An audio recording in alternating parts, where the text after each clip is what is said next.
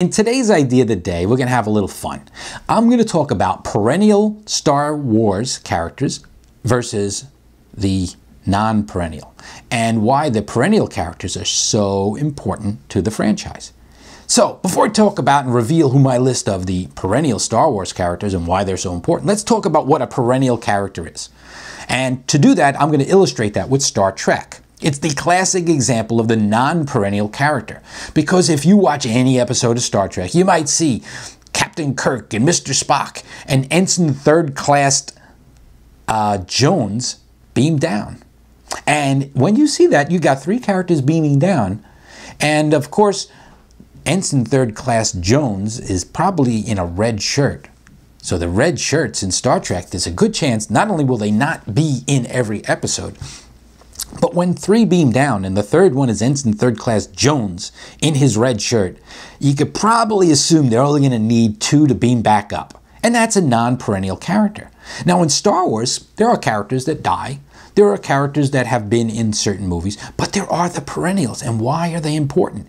Like, there was some debate when the new movie came out about whether Chewbacca got killed. Because there was these footage and you saw Rey and she looked like she was crying and they, they some people said well looks like maybe this Chewbacca's dead.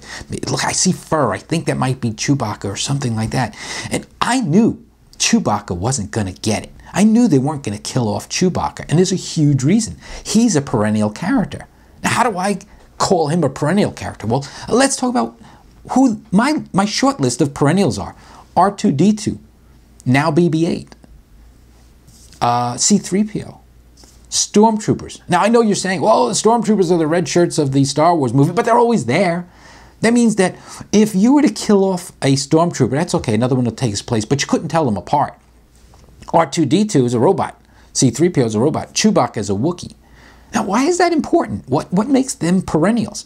Well, if you walk, as I did yesterday, into Toys R Us, and you look down that aisle of toys, one thing you will see lots of is R2D2s, C3POs, Stormtroopers, Chewbacca. Yes, there are Han Solo dolls. Yes, there are Luke Skywalker dolls. But if that if this franchise is going to be around for 50 years or 60 years or 70 years, you get where I'm going? The perennial characters are going to be in every single episode, and they could do that by just switching out actors, switching out who's running the remote controls on uh, a R2D2 robot. BB-8, of course, has nothing inside. Kenny Baker used to be an R2D2.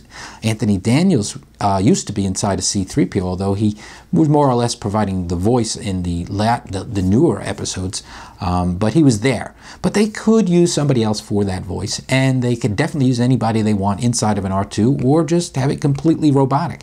And although we know Peter Mayhew is and was the personification of Chewbacca, if there came a time 50 years from now and they want to keep Chewbacca in the series, and they can because they've already shown him in the prequels to be a being from a race of uh, beings that, that live a long time, just as Yoda was 900 years old.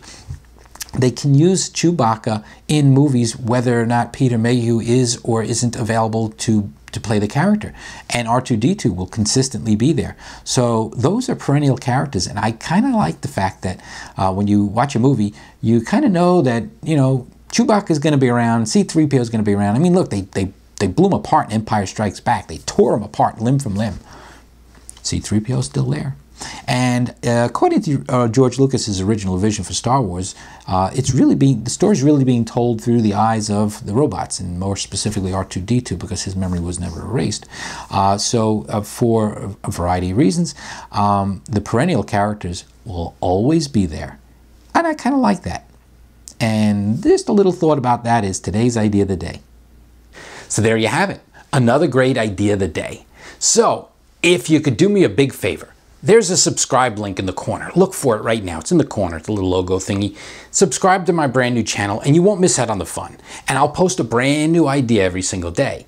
And if you do, I promise you, some of them won't suck.